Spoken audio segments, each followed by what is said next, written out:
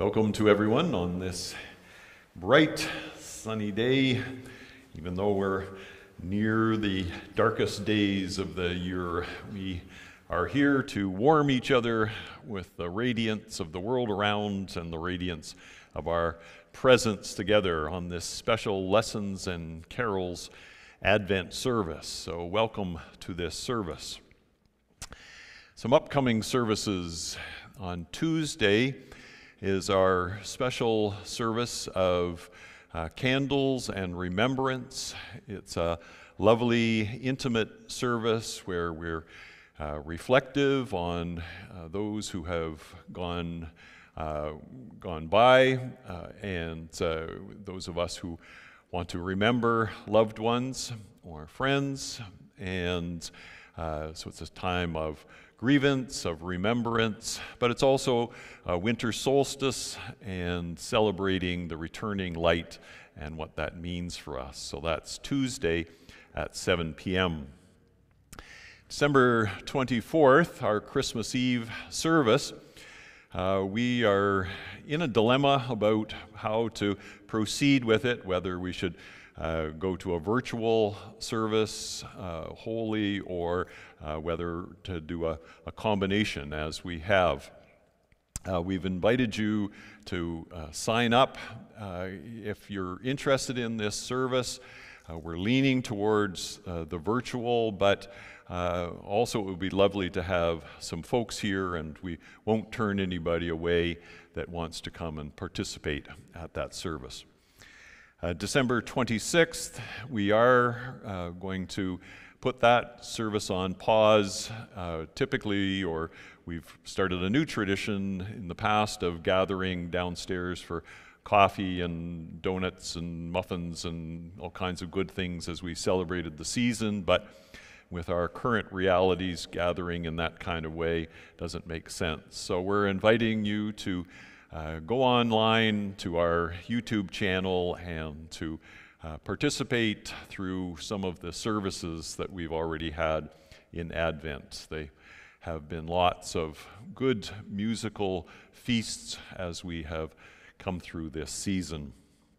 Uh, January the 2nd, Reverend Bruce Sweet from Barrie will be leading in the worship on that Sunday. Eric? Good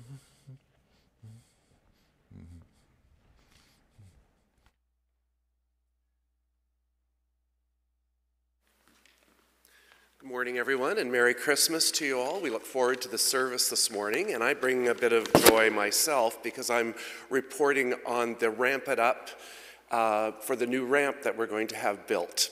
Uh, two years ago, it was a bit of a dream that we thought we could get a drawing and we'd get a new ramp. And then when we saw the price tag, we thought it over and thought we needed a new roof and we needed other repairs. But Fortunately, we have some very hardworking grant writers in our congregation, and uh, we were um, awarded a $54,000 grant. Uh, then we received another $5,000 grant, $1,000 from um, a fundraising dinner here at the church. And to date, we have $16,000 that has been donated by you, the congregation, to add to that, to bring us to a total of about $76,000 uh, before we even chip away the old ramp and get started. So we're, we're really um, delighted uh, to see that we're moving along in this way. You still have until the end of uh, December to make a donation if you would like for a receipt for this year. Along with this um, project, because it's kind of outside any other committee, there is a new committee being stuck, uh, struck um, uh, on the Ramp It Up uh, project. And so it's going to be a finance, construction, fundraising group uh, that will be struck in the new year. And if you're interested in participating in that in any way, uh, you could either be in touch with Mary Phelps, the chair of leadership, or myself, or Don Atkinson, um, uh, chair of finance. Uh, we're all very excited about this project, especially because we're in such good shape. So thank you very much, and we hope to hear from you.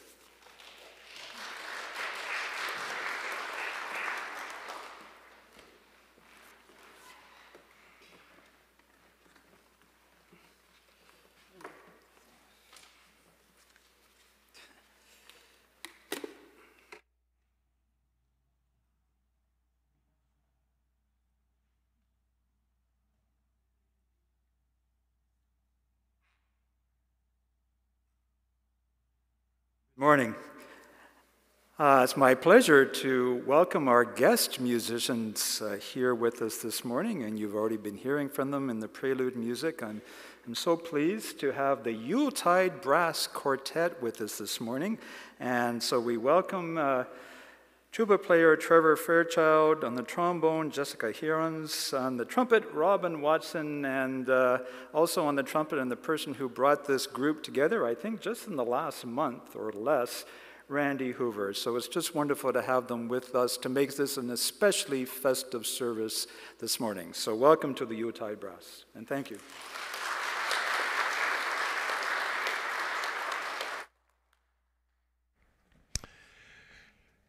And while we're saying thanks, we uh, Don Atkinson has resurrected this uh, leather lectern for us. So thank you, Don, for your hard work in putting this together. It again adds wonderfully to the liturgical furniture as part of our sanctuary.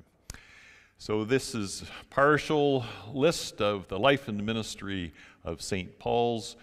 We appreciate all that you do, and we come now together in worship.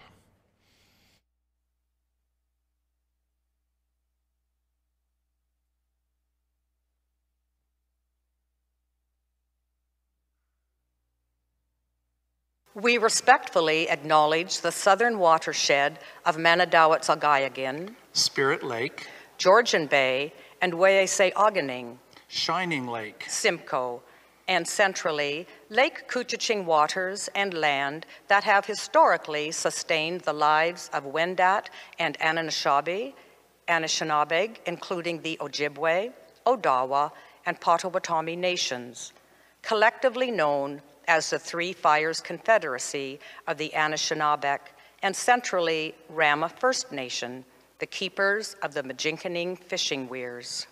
These sacred lands and waterways are recognized in the Robinson Huron Treaty, Williams Treaties, and Jay Collins Land Purchase. Recognizing all nations gathered and living here today from across Turtle Island, including the Haudenosaunee, Métis, and Inuit peoples.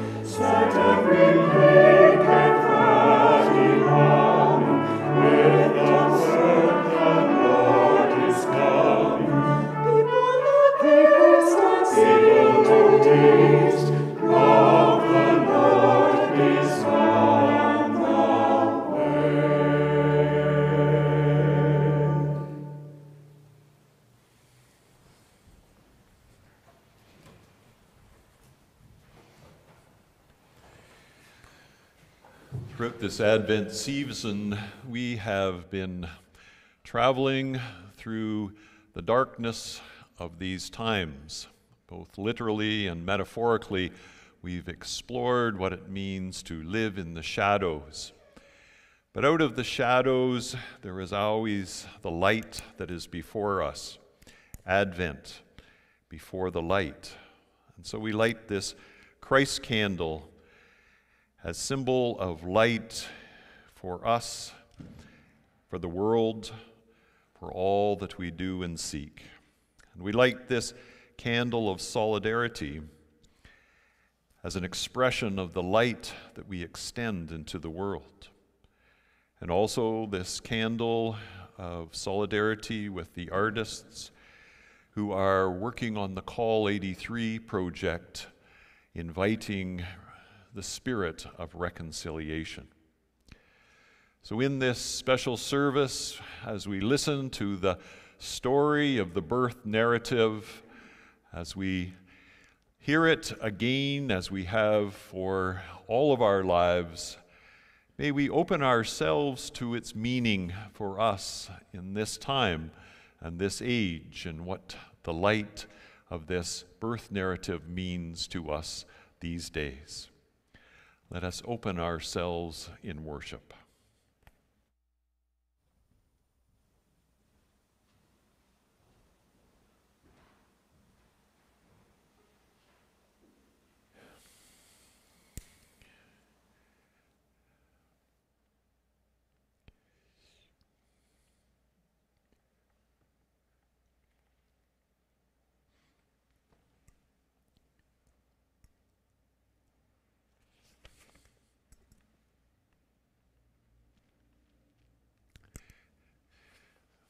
Come to lighting our fourth candle. As we journey through this Advent season, we do so in the darkness of these days. As the light dwindles, we acknowledge what it means to live in dark times, to be conscious of the fears, challenges, and uncertainties of these times. We gather together to face the darkness. On this fourth Sunday in Advent, we light the candle for love. In our complex world with its many challenges, our ethical struggles to discern good from bad, and the range of thoughts and emotions along any spectrum, we recognize that in this mix there is always the divine calling to the spirit of hope, peace, joy, and love we rise to the calling of hope, peace, joy, and love. As the Apostle Paul counseled the small Christian community of Corinth, the greatest of these is love. Love is a sentiment, a feeling, a sense that goes beyond all understanding. It is at the heart of creation the wondrous evolution of this planetary home that includes us as one species amongst many. So we light this candle to be embraced by love and to share this love with all.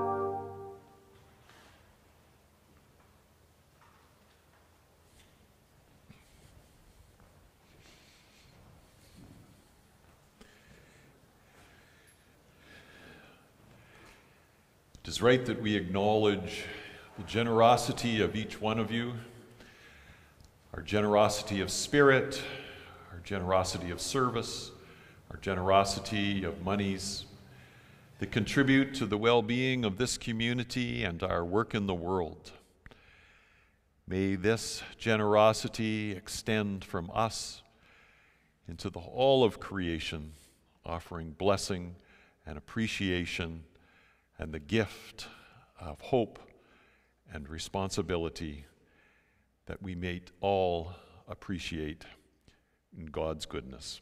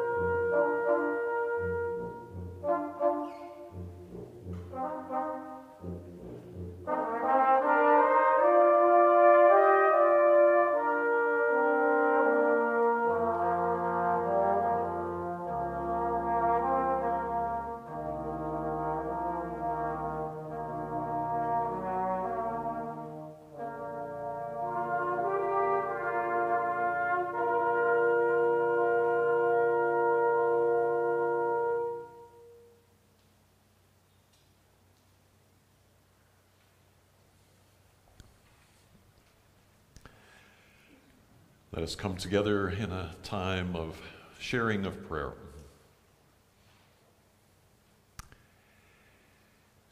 In this season of dwindling light, as the darkness surrounds us, we seek your light as it burns bright in this community as it is represented in the candles of hope, the candles of Advent that call us to the deep emotions of how we respond to the shadow world around. So we pray for those who are experiencing life in the shadows, whether because of the challenging of these dark days, whether mental illness challenges, whether physical challenges, whether economic or social challenges. These are shadows that are real to people's lives. And so we acknowledge them as part of living. We acknowledge them as having the need for us to respond, to be light into this shadowy world.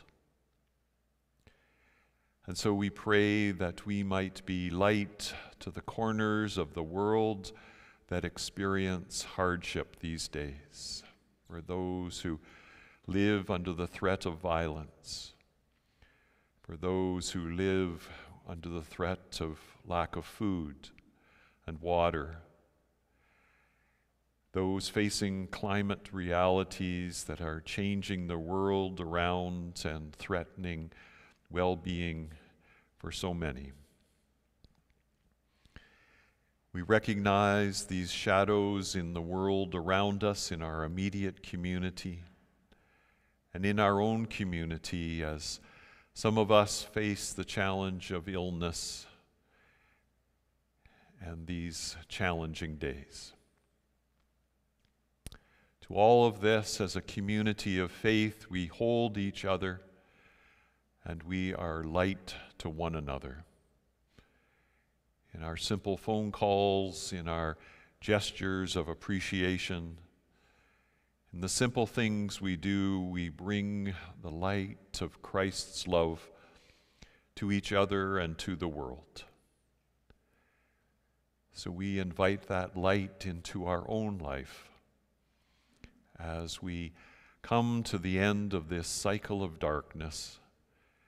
May we revel in what it means to be light for ourselves and for the world. In this we ask for your love. Amen.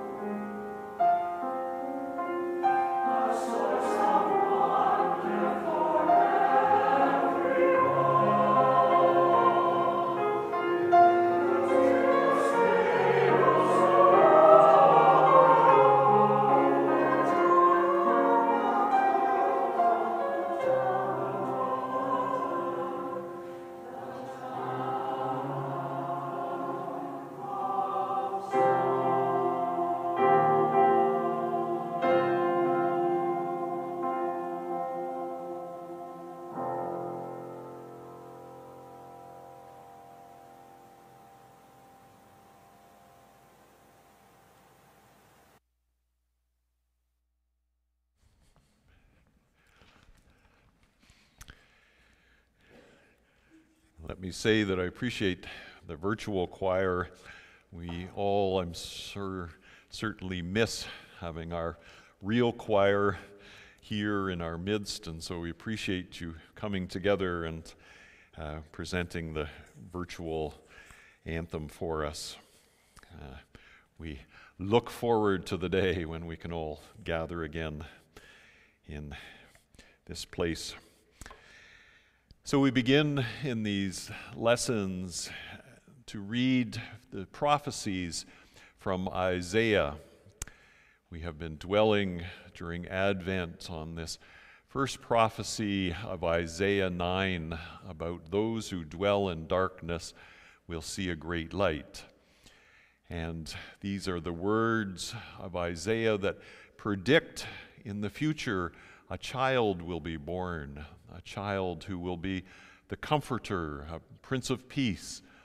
And so it's out of these predictions that our story emerges and the narrative of Jesus comes to fulfill these words from Isaiah.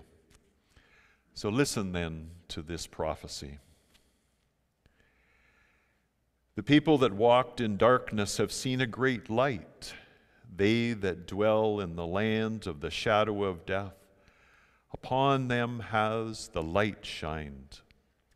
For unto us a child is born, unto us a son is given, and the government shall be upon his shoulder, and his name shall be called Wonderful, Counselor, the Mighty God, the Everlasting Father, the Prince of Peace. Of the increase of his government and peace there shall be no end upon the throne of David and upon his kingdom to order it and to establish it with judgment and with justice from henceforth even forever. The zeal of the Lord of hosts will perform this. And there shall come forth a rod out of the stem of Jesse and a branch shall grow out of his root. And the Spirit of the Lord shall rest upon him the Spirit of wisdom and understanding, the Spirit of counsel and might, the Spirit of knowledge and the fear of the Lord, and shall make him of quick understanding in the fear of the Lord. And he shall not judge after the, after the sight of his eyes neither reprove after the hearing of his ears. But with righteousness shall he judge the poor and reprove with equity for the meek of the earth, and shall smite the earth with the rod of his mouth, and with the breath of his lips shall he slack, slay the wicked.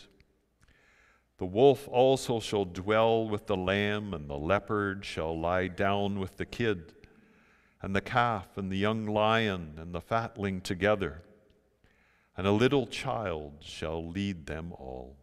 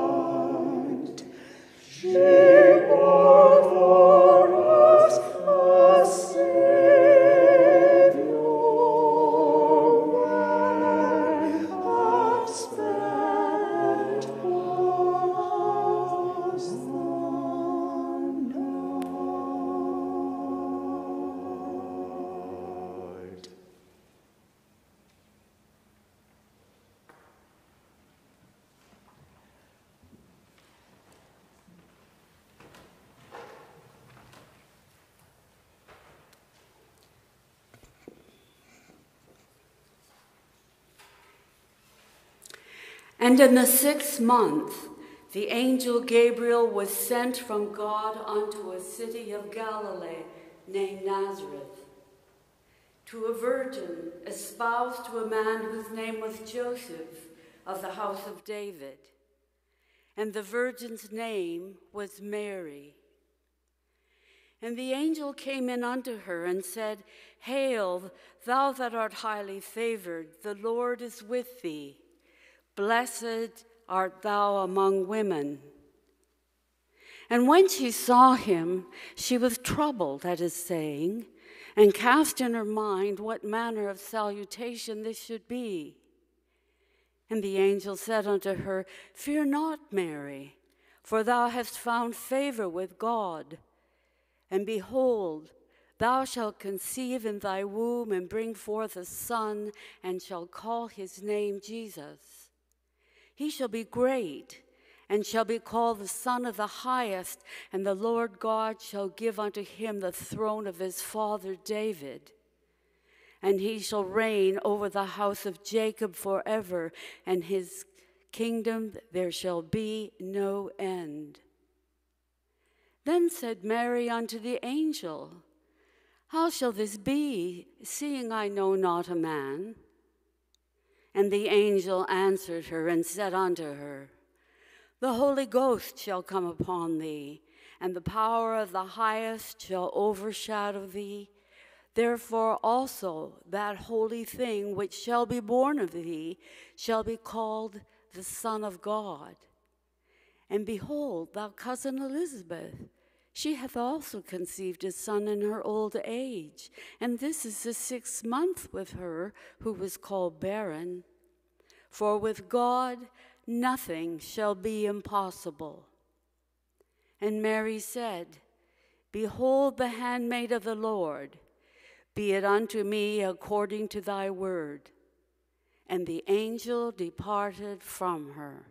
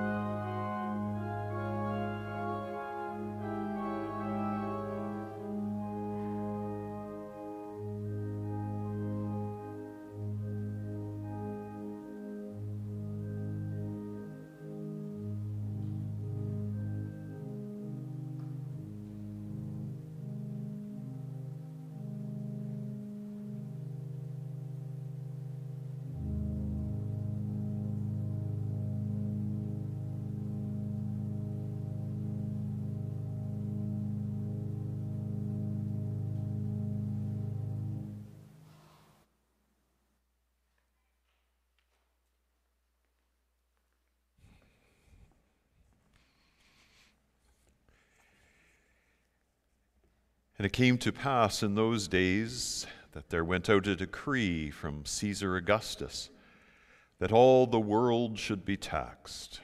And this taxing was made first when Cyrenius was governor of Syria. And all went to be taxed, every one into his own city. And Joseph also went up from Galilee out of the city of Nazareth into Judea unto the city of David, which is called Bethlehem, because he was of the house and lineage of David, to be taxed with Mary, his espoused wife, being great with child. And so it was that while they were there, the days were accomplished that she should be delivered. And she brought forth her firstborn son and wrapped him in swaddling clothes and laid him in a manger because there was no room for them in the inn.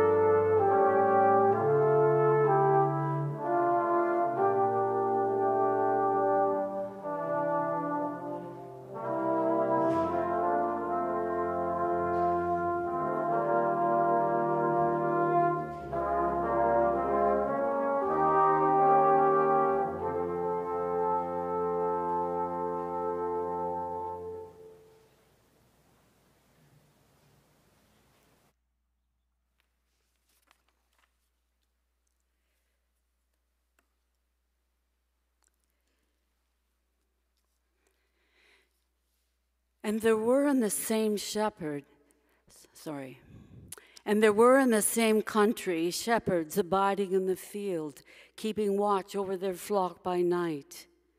And lo, the angel of the Lord came upon them, and the glory of the Lord shone round about them, and they were sore afraid. And the angel said unto them, Fear not. For behold, I bring you good tidings of great joy, which shall be to all people. For unto you is born this day in the city of David a Savior, which is Christ the Lord. And this shall be a sign unto you. Ye shall find the babe wrapped in swaddling clothes, lying in a manger. And suddenly there was with the angel a multitude of the heavenly host praising God and saying, Glory to God in the highest, and on earth peace, goodwill toward men.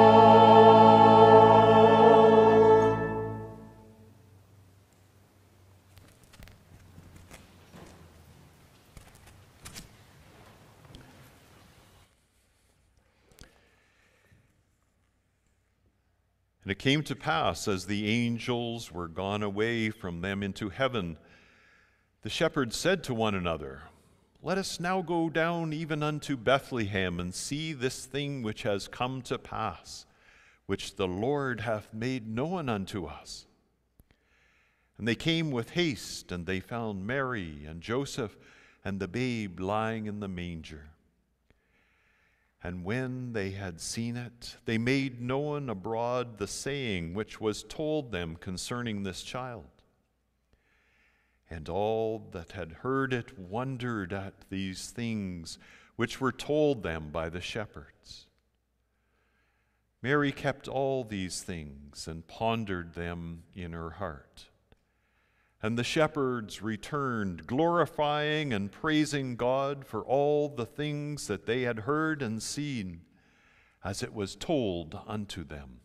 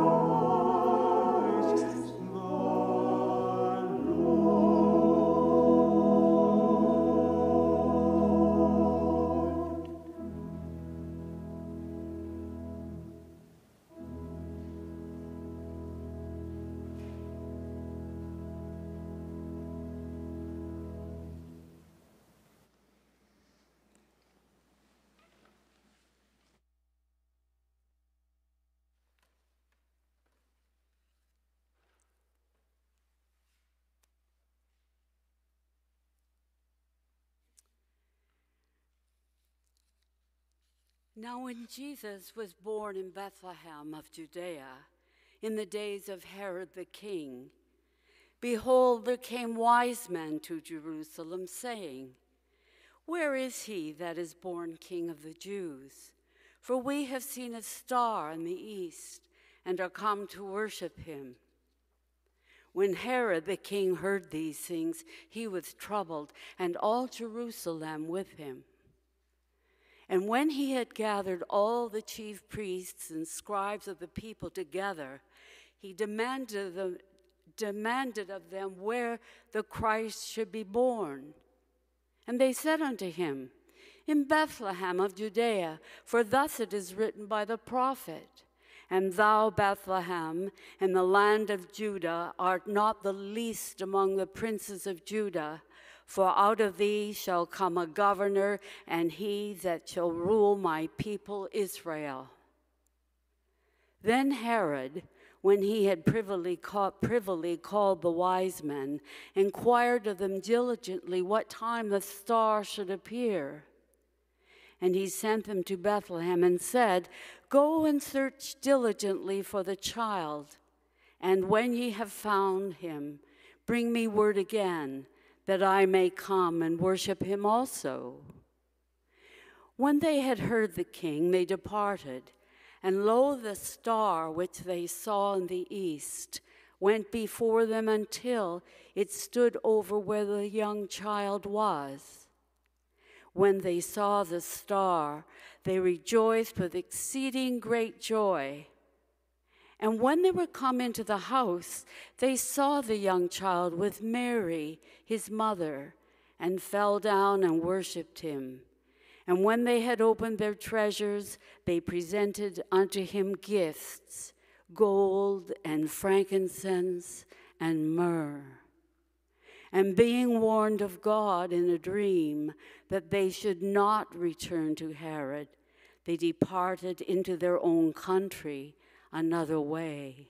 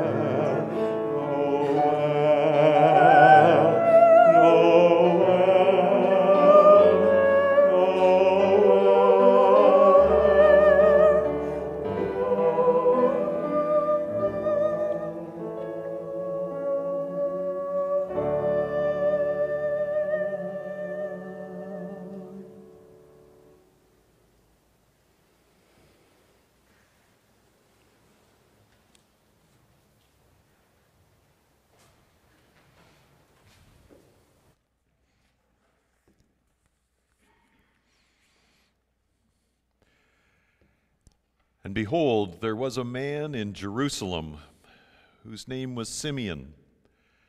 And the same man was just and devout, waiting for the consolation of Israel. And the Holy Ghost was upon him.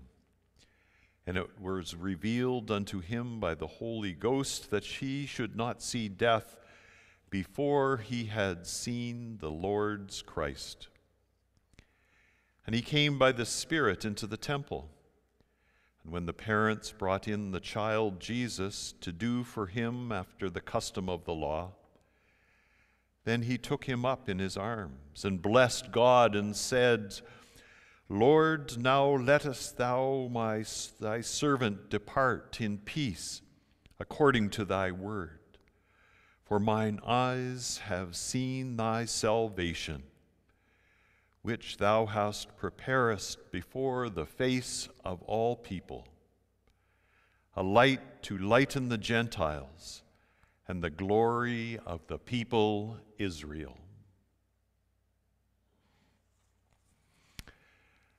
Let us again at least stand to appreciate Hark the Herald Angels Sing.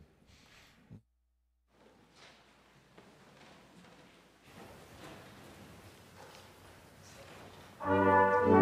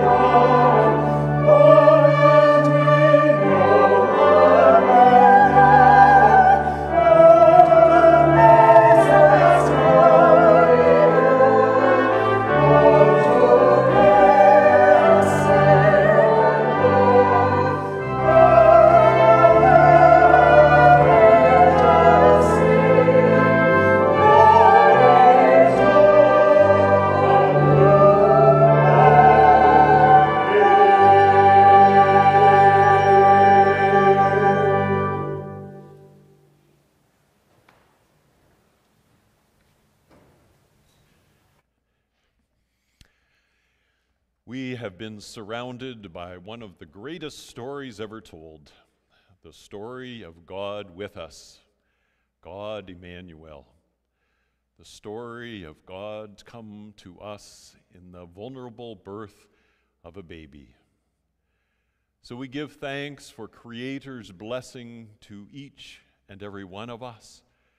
We give thanks that Jesus' life is a testament to how we respond to the challenges of life. May we walk with friend Jesus. And may this day, may we be surrounded by the spirit of love that holds and encourages and lifts each one of us up. Go now in peace. Amen.